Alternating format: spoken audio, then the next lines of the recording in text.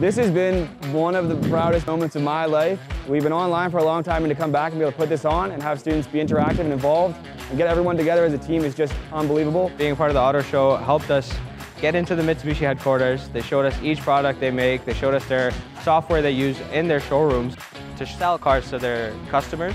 Now talking to all these people with the product that we've learned about, people are surprised that we're not the salesmen. It's really nice because just instead of talking about it in class, you actually get to put it to the test and you get to see all these new vehicles. You get to talk about them, which is what we all love to do. None of us here see this as like, oh, we're coming here to work. Like, as much as we are working for these OEMs, it's so much fun. It's a great experience. We're all great friends, having such a fun time. It's, it's awesome. Our product and the lifeblood of the industry are the future leaders that are here. So being part of this is just second nature to us. It gives you options to look for, and then it also gives you options for co-ops. Like all of the uh, ambassadors from the actual companies are here as well, so you can uh, figure out if you want to go work for them, what they have to offer. As an employer, our focus is always to support the school, right? So hiring anybody from the school, I mean, we're constantly trying to maintain that relationship. I'm an alumni of the auto show.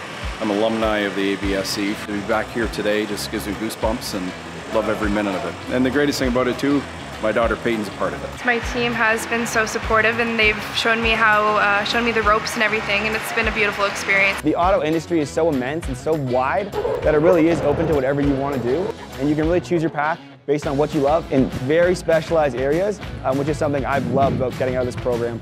This event is the best for us, especially since it's set up by us and it's run by us. So I'm really happy to be here and I think anybody who's into cars should come to this school.